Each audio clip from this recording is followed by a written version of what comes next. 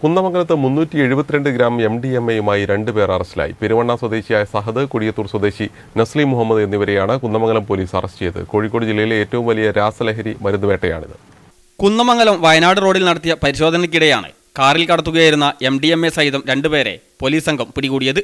രഹസ്യവിവരത്തിന്റെ അടിസ്ഥാനത്തിൽ medical college A C P K സുദർശന്റെ നേതൃത്വത്തിലായിരുന്നു പരിശോധന. ബംഗളൂരുവിൽ നിന്ന് കോഴിക്കോടേക്ക് ലഹരി എത്തിക്കുന്ന സംഘത്തിലെ പ്രധാന കണ്ണികളാണ് പിടിയിലായത്.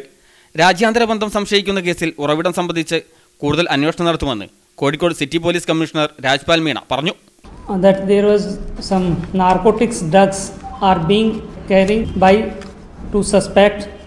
We got the information. On the base of the information, vehicle checking was done at Wayanad Highway, and subsequently we had recovered 372 gram MDMA from the accused persons. And in that, two accused, one Nasli Muhammad, 26 year age, another Sahad, age 31 year of age.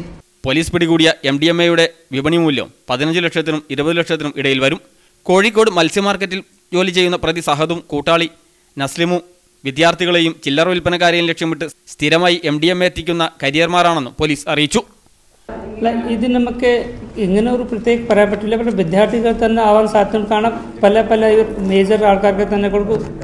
ഇവർ സെല്ലറാണ്. ഇവർക്ക് ഏതാൾ വരുമ്പോൾ പൈസ വേണം. ഇവർക്ക് വിദ്യാർത്ഥിയാണെങ്കിൽ വിദ്യാർത്ഥി മേജറാണെങ്കിൽ major. അവർക്ക് എല്ലാവർക്കും വിൽക്കുന്ന ആൾക്കാരാണ് ന്യൂസ് ബ്യൂറോ കുന്നമംഗലം.